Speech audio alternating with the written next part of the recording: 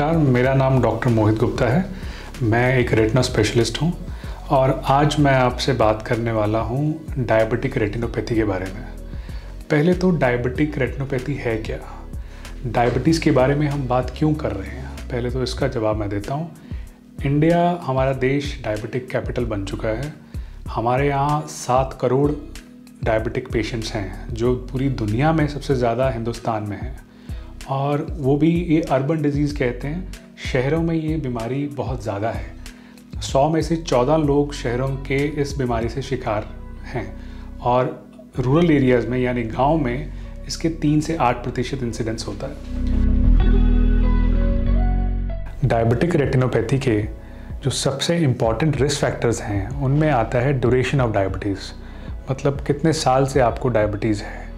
जितने समय, ज़्यादा समय से आपको डायबिटीज़ है, उतना ही रिस्क ज़्यादा है डायबिटिक रेटिनोपैथी डेवलप करने का।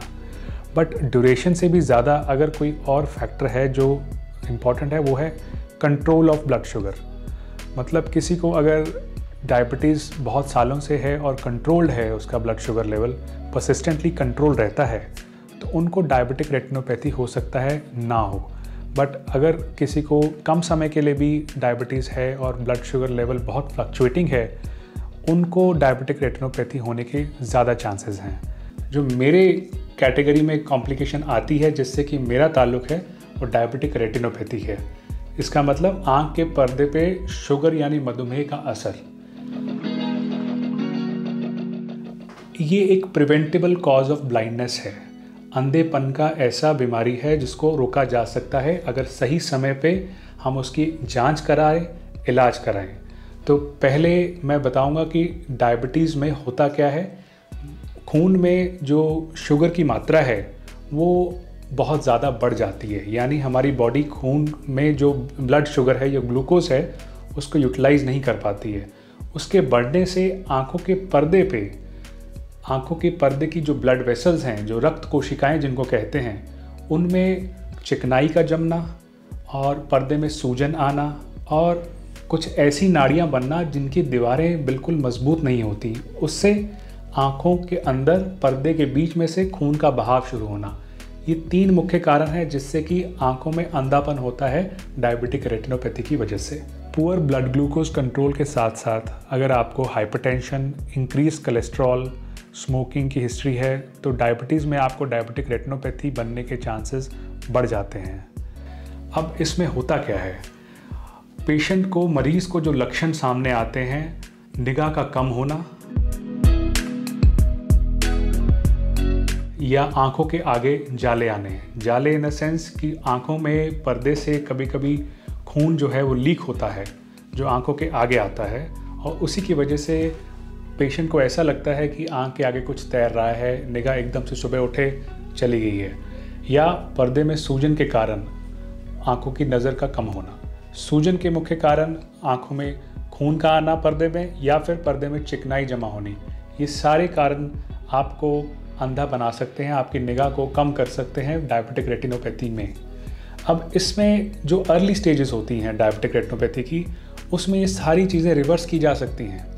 कि अगर आपने टाइमली किसी रेटना स्पेशलिस्ट को दिखाया है और अपनी जाँच कराई है पर्दे की, जो कि दवा डाल के, पुतली फैला के पर्दे की जाँच की जाती है आमतौर पे ये जाँच करने में समय लगता है और एक रेटना स्पेशलिस्ट जो होता है, वो एक ट्रेंड सर्जन होता है इस चीज़ की जाँच करने में भी और इसका इलाज करने में भी।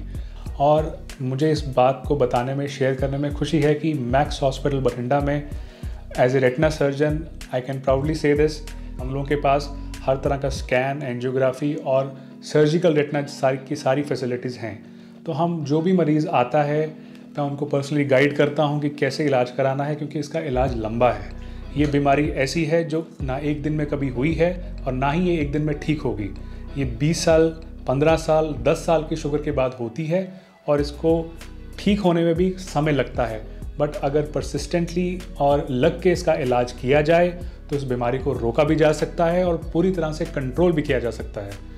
कहने का मतलब अगर आपको ये शुगर की बीमारी है तो आपको हर छः महीने में एक बार रेटिना स्पेशलिस्ट को मिलकर अपना पर्दा चेक कराना है, चाहे आपको कोई दिक्कत है या नहीं है। क्योंकि अगर आप ऐसा करेंगे तो अर्ली स्टेजेस वाली बीमारियों को भी एक रेटना स्पेशलिस्ट पकड़ लेगा और उसको रिवर्स कर देगा।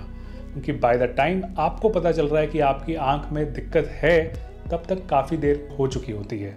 तो सही समय पे, सही डॉक्टर से, सही डॉक्टर का मतलब ये एक रेटना स्पेशलिस्ट को दिखाने वाली बीमारी है। आम जनरल आँखों के डॉक्टर हो सकता है इसको ना देख पाएँ। तो ये बेहतर है कि आप एक ट्रेंड क्वालिफाइड रेटना आँखों के पर्दे के विशेषज्ञ, एक रेटना स्पेशलिस्ट के पास ही इस बीमारी के इलाज के लिए जाएँ। अर्ली स्टेजेस में जिन मरीज़ों को सिर्फ़ दवा की ज़रूरत है, उनका दवा से जिनको इंजेक्शन या ग्रीन लेज़र के ट्रीटमेंट की ज़रूरत है, उनका इंजेक्शन या ग्रीन लेज़र से, या फिर लेट स्टेजेस में जिनको सर्जरी की ज़रूरत है, उनका सर्जरी से पूरा इलाज यहाँ पे किया जाता है। और कुछ जो लेट स्टेजेस में आते हैं, उनके लिए यहाँ पे पर्दे की हर तरह के ऑपरेशन की सुविधा उपलब्ध है। हर तरह के हमारे पास इक्विपमेंट उपलब्ध हैं। तो हम उनका भी इलाज अच्छे से यहाँ पे कर सकते हैं। तो फैक्टर क्रिटिकल यही रह जाता है कि आप कितना अवेयर हैं। तो मेरी आप सबसे यही गुजारिश है कि आप समय पे इस बीमारी का अगर ध्यान देंगे तो ये पूरी तरह से प्रिवेंटेबल बीमारी है। कहने का मतलब इसको पूरी तरह से रोका जा सकता है। Only thing is you have to be careful about your disease.